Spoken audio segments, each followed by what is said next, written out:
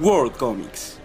Stanley Martin Lieber nació el 28 de diciembre de 1922 y es mejor conocido como Stan Lee, quien es un productor, actor de cine, guionista y editor de cómics entre muchas otras cosas. Es co-creador de superhéroes como Spider-Man, Hulk, Los Cuatro Fantásticos, Thor, Los Vengadores, Daredevil, Doctor Strange, X-Men y Iron Man y muchos otros más. Y si esto no era suficiente, él hizo crecer a Marvel Comics de una pequeña casa publicitaria a una gran corporación multimedia.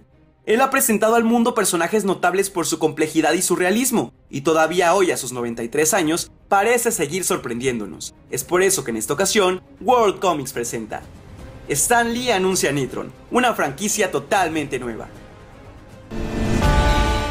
A pesar de que durante mucho tiempo parecía haber dejado la escritura y edición de cómics de Marvel y solo dedicarse a hacer cameos para las películas de Marvel Studios, a sus 93 años no ha dejado de crear. Stan Lee acaba de dar a conocer su más reciente creación, Nitron, una nueva franquicia. Lee se ha asociado con Keya Morgan y Michael Benaroya para la escritura de este grandioso proyecto.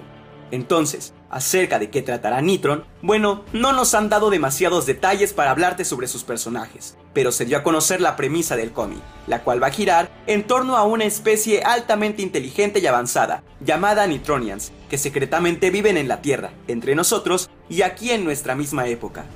De acuerdo con el comunicado oficial de prensa, Nitron será una serie de cómics lanzados en pasta rústica y a todo color, que tendrán un precio de 5 dólares cada uno.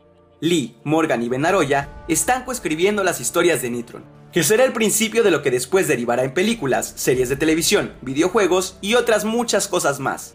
Benaroya Pictures producirá estas adaptaciones y se ha comenzado con una suma inicial de 50 millones de dólares para financiar el desarrollo y producción de este proyecto del que ya esperamos grandes cosas.